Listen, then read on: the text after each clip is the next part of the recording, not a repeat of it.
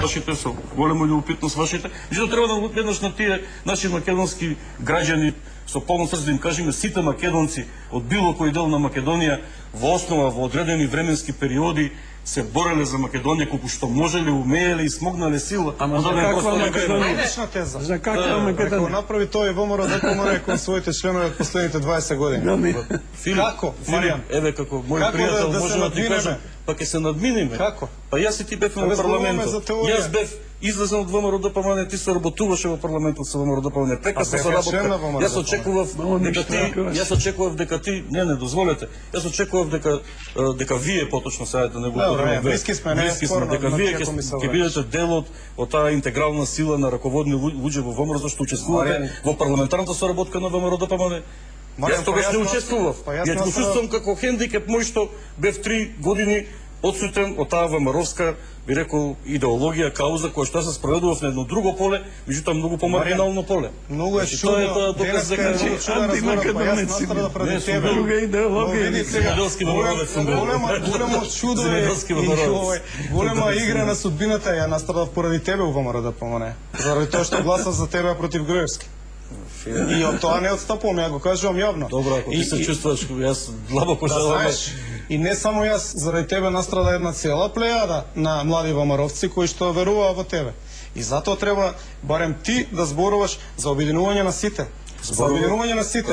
Ние ќе збориме ова. историски за ник, нема се откажеме нити од Тодор Александров, нити од лево, нити од десно, меѓутоа Али- а денеска пак е исто.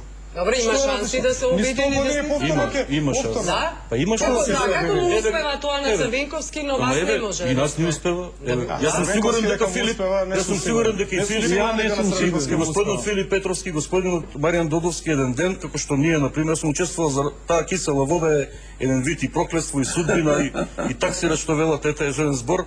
Сите судири беа во кисела вода и со Стефковски, денеска Стефковски член на ВМРО ДПМН. Човек што беше координатор на пратеничка група 90-та година, 94-та година во парламентот. Со Борис Мејковски, генерален секретар прв. Сите се сега членови на ВМРО ДПМН. И ред други, да не збориме за за, за, за првите советници во, во градот Скопје, Панко и Митр, да не збориме за Илија Белевски покојно, да не збориме за Дојчин, за Пецевски, сегашно директор во, во, во Охис. Тоа се се некои луѓе кои што го споделиле некогаш биле некаде во ВМРО МНДС, во ВМРО ВМРО, во ВМРО Вистинска, во ВМРО ЗНП, не е битно како се никаде, земјоделска земја сме биле.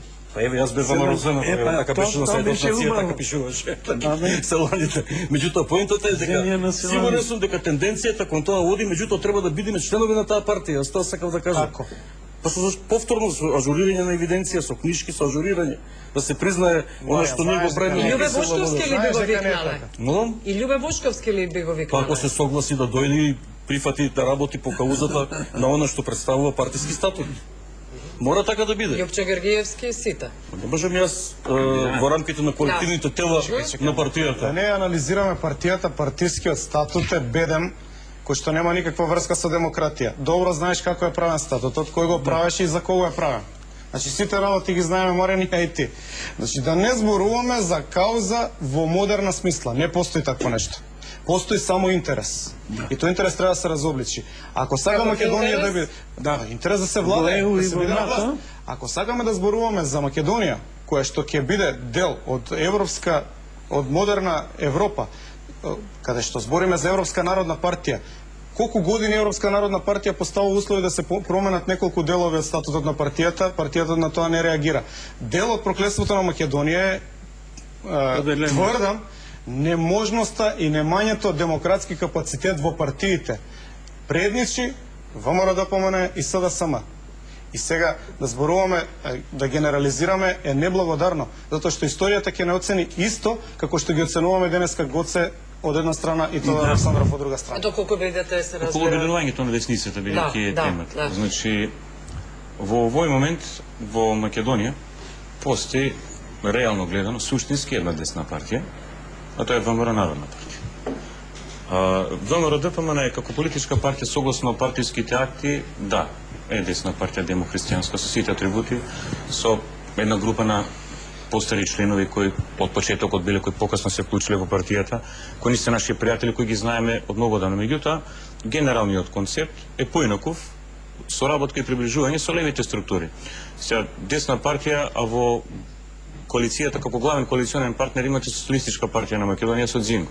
Имате Лиле Поповска со Дом. Дом. Го имате Павле Трајанов со Демократски. Сојуз. Клучен коалиционен партнер е Дуј во владата. Марксистичко ленинистичко. И сега само уште една реченица да се вратам на назад после парламентарните избори 2006 година ние како партија освоивме шест претенички мандати и тогаш ВМРО ДПМН ги, главеше, ги правеше главните преговори со ДУИ да влезе во влада.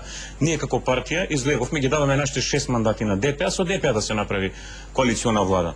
Тогаш ВМРО Народна партија не влезе во никаква владина коалиција од едноставна причина што НСДП беше поблизок од коалиционен партнер на ВМРО ДПМН, они беа со 7 пратеници, ние бевме со 6 е, пратеници. Меѓутоа, почувствувавме морална обврска како партија, бидејќи ВМРО ДПМН после поразот од 2002 година кој го имавме од СДСМ и враќање на ВМРО-ска структура 2006 да дадеме подршка на, Да. на една таква влада. Добро. Значи не гледам простор за некако обединување, мислам сите ќе се одиме сами на на избори, па ќе видиме после изборите како ќе се одвиваат грешка. концепцијски работите. Ако зборуваме за обединета десница, збору... јас би зборувал за концепција. Во Македонија постои сериозно десничарско а, мнение и голем дел од а, моментално македонската јавност а, инклинира кон десно. Да. Но а, е тоа е победа на идеологија. Ако правиме некаков заклучок, Толку се 20 сума години. сумарум на Толку 20 се години. 20 години. Значи победа на нашата идеологија. Така. Имам и колумна објавена на таа тема. Комплетно скенирање, принудени се левите структури беа принудени да влезат во десна во десни организации и тоа е наистина победа на идеологијата. Меѓутоа таа се разлева во моментов и мислам дека доколку фракциите кои што се надвор од ВМРО ДПМН останат како фракции во поситни партии, Груевски не може да биде предизвикан. И затоа треба да се зборува за обединување на десницата на сите што размислуваат десничарски, а се опозиционо настроени. И има простор за дискусии, тука не се согласувам со Додовски. Евро- за политички партии. Додовски не мора да значи дека само политичка Се партија за политички е, е партии, не некој што може да го политички пред... партии. ВМРО почнува како движење. Имате вие сега тука едно движење кое, кое што ги обединува, односно себранителите. Тоа се 30, 40, 50 Апсолутно ние целосно даваме поддршката и тука се Значи, согласуваме на иста линија сме дека бранителите имаме- заслужуваат партијата и дека се десна Значи имаме структура. генерално структури кои што се многу сериозни, меѓутоа се работи да бидат А, На одвоени. крај сме, да, на крај сме. Дали очекувате дека пораките на Никола Груевски ќе бидат еднакви како на Унијата на младите? А, линч кон неистомеслениците, Па не било што да- опозицијата, новинарите? Она што ќе се ќе прати силна порака и до меѓународната заедница дека името Па не се верувам, не би верувал дека во што би се менувале ставовите или нешто ново би слушнале до она што досега го го имавме е, слушнато. За нас е најважно да Македонија шекори што е можно побрзо кон евроатланските интеграции. Мислам тоа е во интерес на сите граѓани на се Република. Македонија.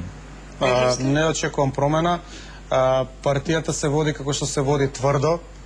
Нема простор за различно размислување, меѓутоа очекувам промена во јавното мислење кое што веќе еднаш ќе се озре ќе ги погледне работите поотворено и, и тоа е веројатно еден процес на развој на Македонија. Ако го нема тој процес побрзо, Македонија ќе врти во место.